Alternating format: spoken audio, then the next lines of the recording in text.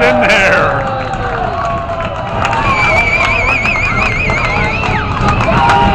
Wicked goal ties it up 2-2.